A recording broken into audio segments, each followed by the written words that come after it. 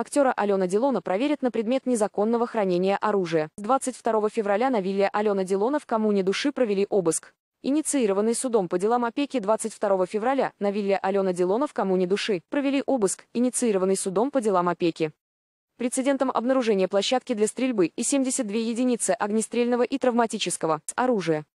Разрешение на хранение оружия актер не предъявил.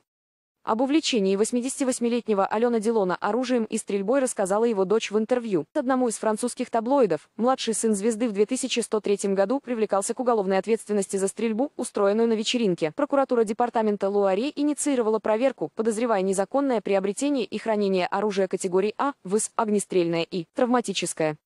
На это время все оружие изъято, сообщил РБК.